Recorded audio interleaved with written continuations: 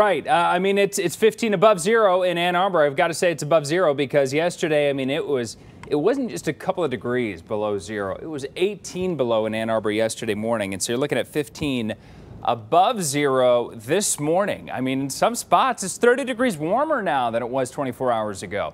Light snow filling in from the south this morning, and it's going to continue to fill in as uh, the day goes on. So plan for light snow this morning.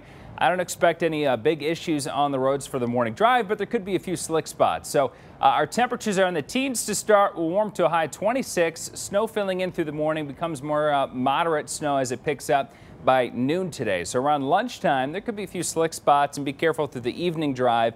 One to two inches of snow possible by about 7 p.m. So chance of snow picking up through the rest of the morning. It's moving in south to north. It's going to be light through the morning and then moderate snow through the afternoon. Again, ending by about 7 p.m. or so. Uh, going into uh, the night tonight, it's going to be in the 20s after sunset. High of 26 down to 24 degrees through 7, 8 p.m. Wind chills you see uh, in, in about the mid-teens tonight. Then we drop to low of 16 degrees, snow tapering off after 10 p.m. Tomorrow, we'll be in the teens again in the morning, partly cloudy skies, more clouds in the afternoon, a few snow showers possible tomorrow afternoon.